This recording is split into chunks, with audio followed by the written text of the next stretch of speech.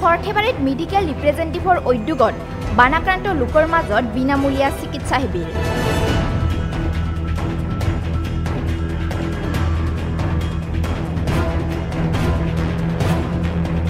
প্ৰলয়ংকাৰী বানৰ পিছত জ্বৰ ডায়েৰিয়া কাহ আদিকে ধৰি পেটৰ বিভিন্ন ৰোগত ভুগিছে বানাক্ৰান্ত লোকসকল। বানত ক্ষতিগ্ৰস্ত বৰপেটাৰ সুৰুক্ষেত্ৰীৰ লোকসকলৰ চিকিৎসাৰ সহায়ৰ বাবে আগবাঢ়ি আহিছে সুৰুক্ষেত্ৰী অঞ্চলৰ মেডিকেল ৰিপ্ৰেজেণ্টেটিভ চুমুকৈ এম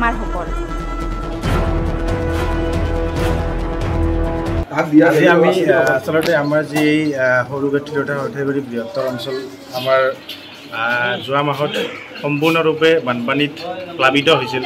তাৰ ফলস্বৰূপে আমাৰ সৰ্বসাধাৰণ মানুহ বিভিন্ন বেমাৰ আজাৰত একচুৱেলি আক্ৰান্ত হৈছিল। যিখিনি মানে আহ, প্লাবিত হোৱাৰ বানপানীত প্লাবিত হোৱাৰ ফলত বেমাৰ আজাৰ হয়। সৰ্ব সাধাৰণতে জ্বৰ কাহ চৰ্দি পেটৰ বেমাৰ তাৰপিছত বিভিন্ন এতিয়া ধৰি লওক জাপানীজ এনকেফেলাইটিছৰ প্ৰকোপ বাঢ়িছে। গতিকে এই মানে গোটেই ঘটনাখিনি আমি আমাৰ ইয়াৰ পৰা এই বৃহত্তৰ এৰিয়াটোৰ পৰা আমি আচলতে বিশেষকৈ মেডিচিন কোম্পানী যাক আমি মানে মেডিকেল ৰিপ্ৰেজেণ্টেটিভ বুলি কোৱা হয় সেইখিনি আমি মোটামুটি পঞ্চাছজনমান আমাৰ ইয়াৰ পৰা কাম কৰা মানুহ আছিলে। আৰু সেইখিনি আমি অলৰেডি কিবা কিবি এটা চিন্তা চৰ্চা কৰি আছিলোঁ আমি ৰাইজৰ কাৰণে কি কৰিব পাৰোঁ। তো এইখিনিতে আমি এটা মহৎ কাম কৰাৰ এটা সুবিধা পালোঁ। এই গোটেই মানে এৰিয়াটোৰ মানুহখিনিক আমি এটা সেৱা আগবঢ়াৰ উদ্দেশ্যে আমি এটা স্বাস্থ্য শিবিৰ আয়োজন কৰিছিলোঁ। আৰু এই স্বাস্থ্য শিবিৰটোত আহ, বিশেষকৈ আহ, গুৱাহাটীস্থ দুজন ডক্টৰ আহ, সহযোগত আমাৰ উদ্যোগত আমি এই কামটো আজি সম্পন্ন ইতিমধ্যে আমাৰ চলি আছে চলন্ত গতিত আছে।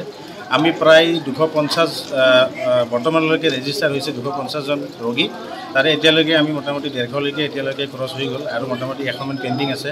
আৰু আমি যিমানখিনি পাৰোঁ আমাৰ তৰফৰ পৰা আমি গোটেই পঞ্চাছজন যি ল'ৰা আছোঁ গোটেইখিনি তৰফৰ পৰা আমি বিশেষকৈ ধৰি লওক যিবিলাক গেষ্ট্ৰিকৰ প্ৰব্লেম আছে তেখেত তেখেতসকলৰ কাৰণে ৰেবিপ্ৰেজল পেণ্টাপ্ৰেজল তাৰোপৰি তাৰ আই ভি তাৰোপৰি পেটৰ বেমাৰৰ কাৰণে এনজাইম চেনজাইম বদ হজম হজমৰ কাৰণে বা লিভাৰৰ কাৰণে মাইকীবিলাকৰ কাৰণে আইৰণ ফলিক এচিড তাৰোপৰি মূৰৰ বিষ তাৰোপৰি আমি মানে প্ৰিলিমিনাৰী কেছেছত মানে ডায়েবেটিছো আমি চাই দিছোঁ বা হিমগ্ল'বিন হিমগ্ল'বিন এইবিলাকো চাই দিছোঁ তাৰ কাৰণে মোটামুটি আমি চাব গ'লে মানে মলিকুল হিচাপে ক'ব গ'লে আমি প্ৰায় এশ এশ বিছমান মলিকুল আমি আগবঢ়াবলৈ সক্ষম হৈছোঁ। প্ৰায়খিনি মানুহক আমি কিছু পৰিমাণে দৰৱ দিবলৈ সক্ষম হৈছোঁ। এইখিনি আমাৰ একচুৱেলি আমাৰ এই কাৰ্যটোৰ এটা মহৎ মানে উদ্দেশ্য। আৰু আমি এইখিনিত ৰাইজৰ পৰা যথেষ্ট সহায় সহযোগ পাইছোঁ আৰু বিশেষকৈ আমাক যিটো স্থানটোৰ ক্ষেত্ৰত শংকৰদেৱ শিশু নিকেতনে আমাক বিশেষকৈ সহায় কৰিছে তেখেতসকলকো আমি ধন্যবাদ।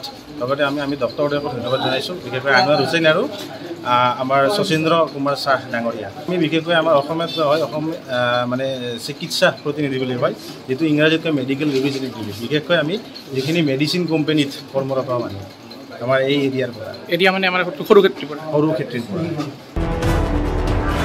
গুৱাহাটীৰ এপল' এক্সেলগাৰ হস্পিটেলৰ চিকিৎসক ডাক্তৰ আনোৱাৰ হুছেইন আৰু ডাক্তৰ ৰাহুল কুমাৰৰ নেতৃত্বত এটা চিকিৎসক আৰু স্বাস্থ্যকৰ্মীৰ দলে সুৰুক্ষেত্ৰীৰ আঢ়ৈশতকৈও অধিক লোকৰ স্বাস্থ্যৰ পৰীক্ষা আৰু ৰোগীৰ চিকিৎসাৰ লগতে বিনামূলীয়াকৈ ঔষধ প্ৰদান কৰে। সুৰুক্ষেত্ৰী তথা বৃহত্তৰ সৰ্থেবাৰী ৰাজচক্ৰৰ অন্তৰ্গত গাঁওসমূহত বানপানীৰ পিছৰে পৰা মানুহখিনিয়ে ভুগি থকা বিভিন্ন বেমাৰ আজাৰৰ চিকিৎসাৰ লগতে বিনামূলীয়াকৈ ঔষধ প্ৰদান কৰা পদক্ষেপক স্থানীয় লোকে আদৰণি জনায়।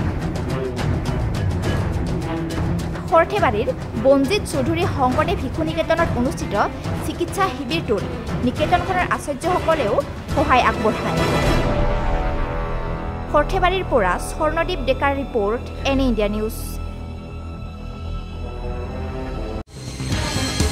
www.anyindianews.com আপুনি ভিজিট কৰক প্ৰতিটো নিউজ আমাৰ Facebook page any India news follow' কৰক আৰু ভিজিট কৰক এনি ইণ্ডিয়া নিউজ ডট কমত